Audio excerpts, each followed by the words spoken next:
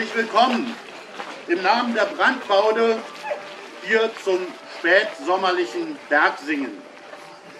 Wir sind die Bergfinken, der Bergsteigerchor aus Dresden und wollen, wollen Ihnen an diesem Nachmittag die Schönheit unserer Berge und so manches andere näher bringen.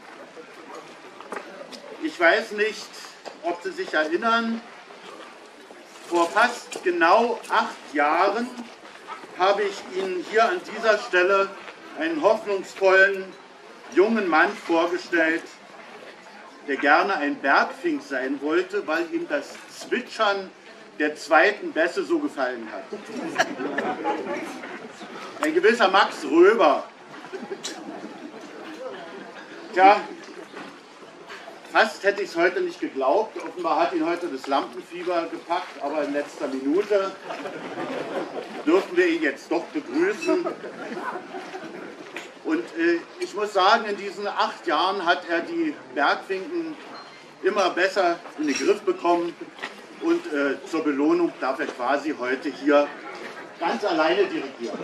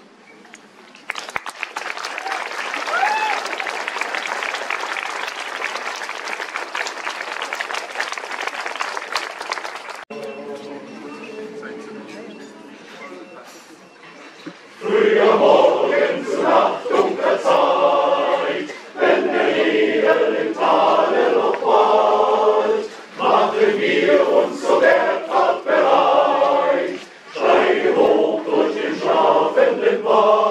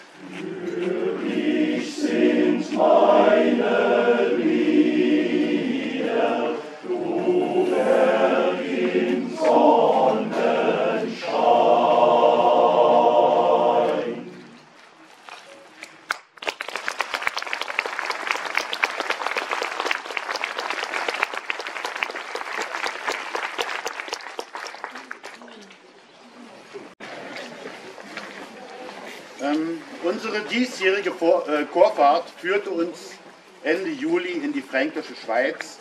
Einige der Anwesenden werden sich vermutlich noch erinnern. Es wurde geklettert. Nein, das war ernst gemeint. Es wurde, es wurde geklettert und neben Wandertouren und einer tollen Stadtbesichtigung in Bamberg stand natürlich auch der Gesang ganz oben auf dem Programm. Besonders eindrucksvoll für mich war unser kleines Konzert in der Basilika Gößweinstein. Und natürlich kamen auch die leiblichen Genüsse nicht zu kurz. Dem einen oder anderen wird wahrscheinlich ein kleines Schäufle noch irgendwo im Bauch verruhen.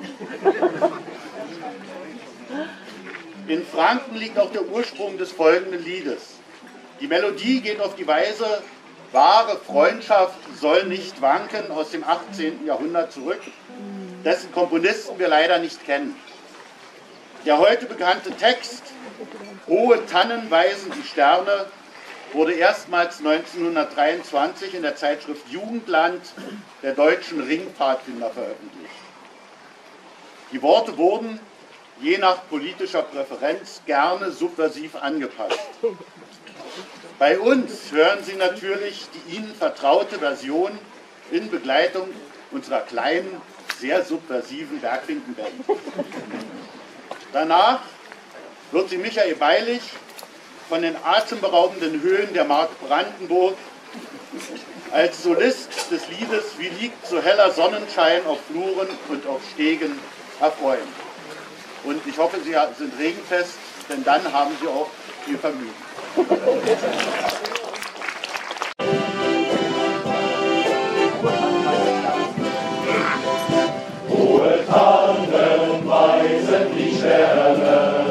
An der Isar mit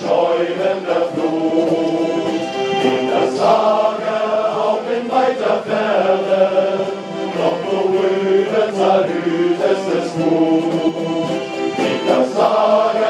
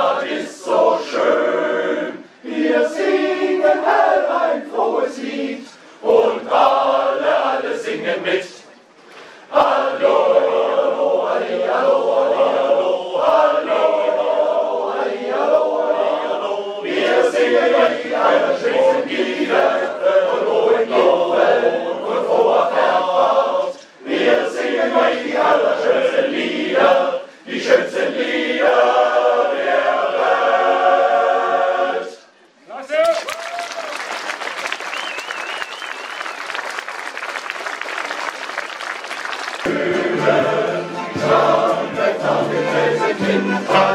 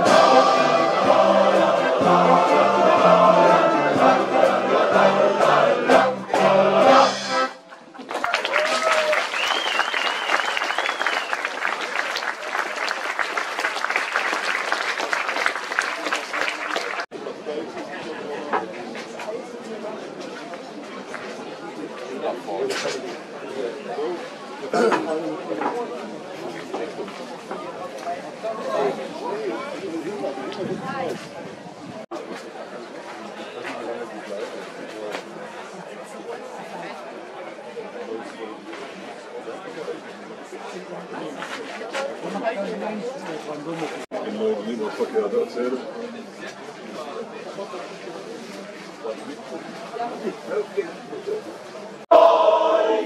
Ich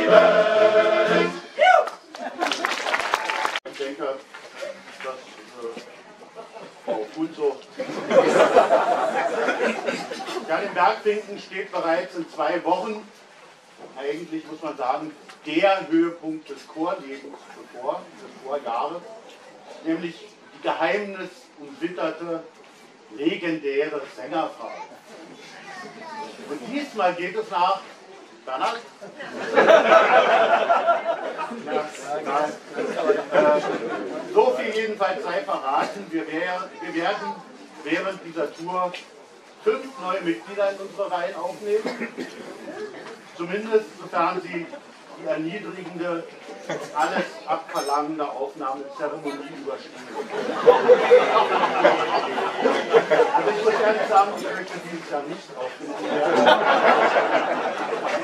Aber das habe ich ja zum Glück schon knapp 20 Jahre gesagt. Ja, und der kann ich an dieser Stelle leider auch nicht verraten. Also nicht, weil ich es nicht will, denn eine, nur eine Sängerfahrt, an die man keine Erinnerung mehr hat, war gute Sängerfahrt.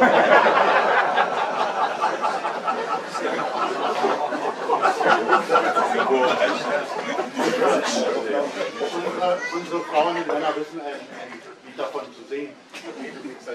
Begabte, gut aussehende Sänger zur Verstärkung Wer also Lust und Zeit hat, ist herzlich zu unseren wöchentlichen Proben immer donnerstags 18.15 Uhr im SPB-Vereinszentrum am Heiligen Freiberger Straße eingeladen.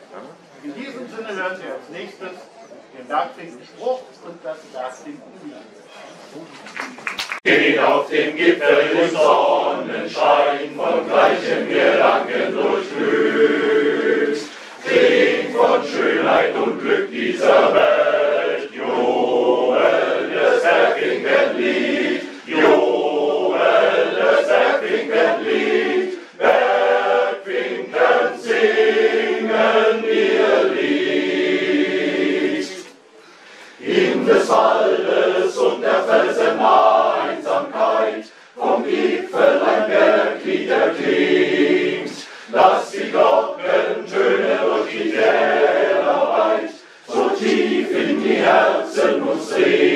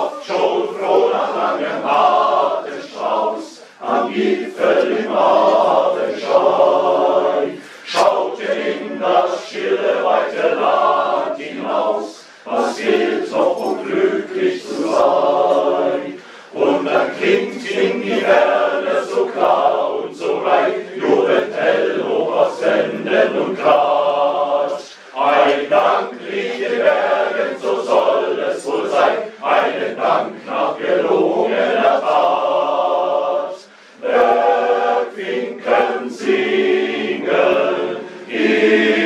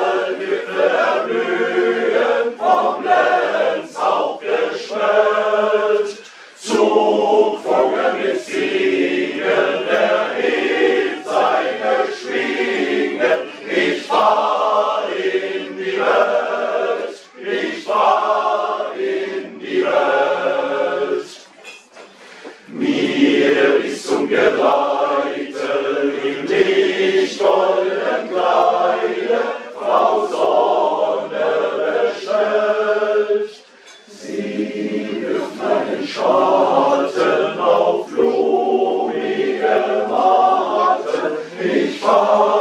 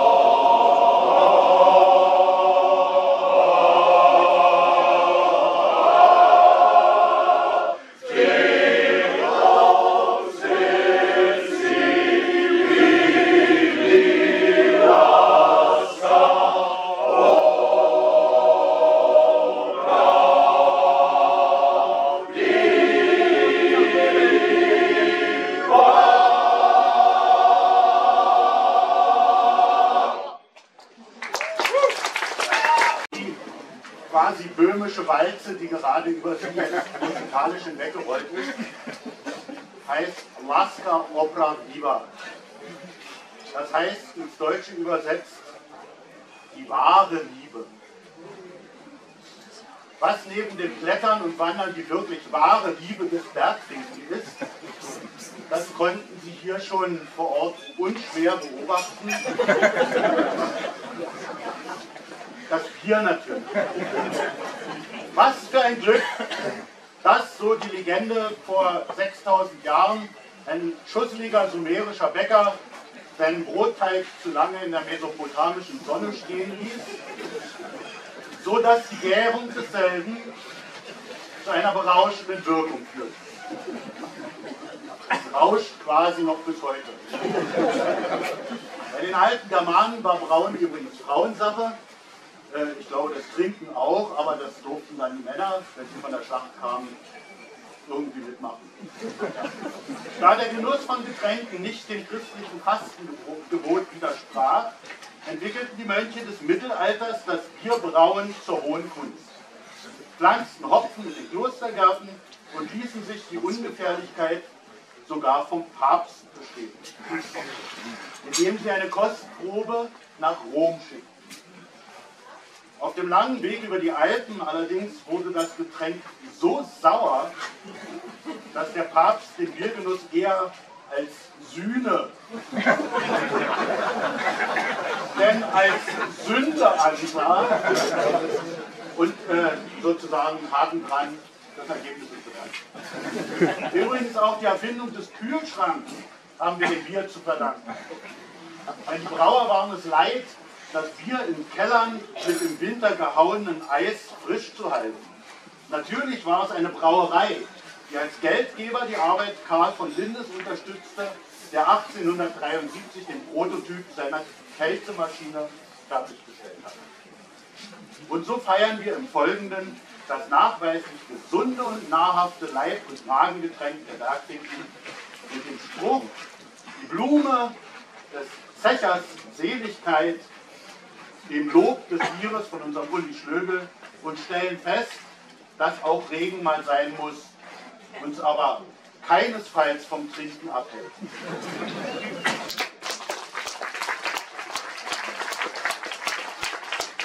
Ruhe!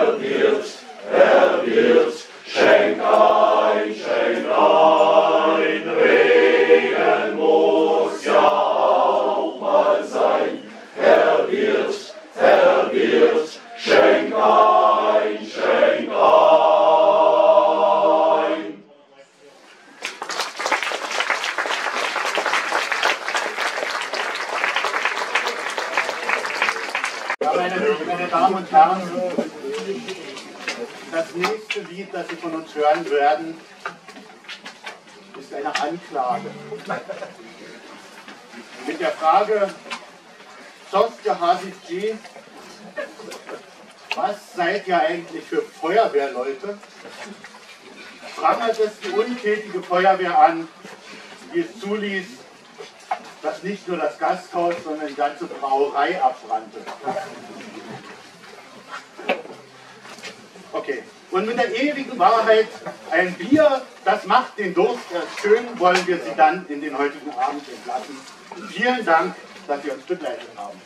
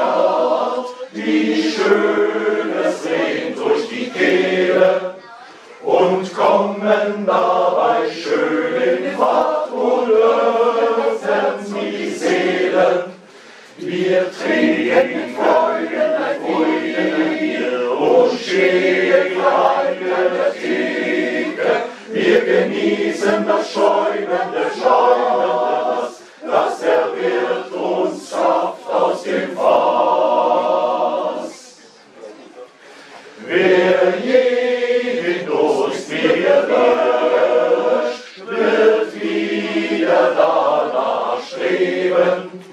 Ein guter Trunk ist niemals schlecht, drum auf einen geben. Wir trinken ein Freuden, ein Bier und stehen an der Theke. Wir genießen das schäumende, schäumende,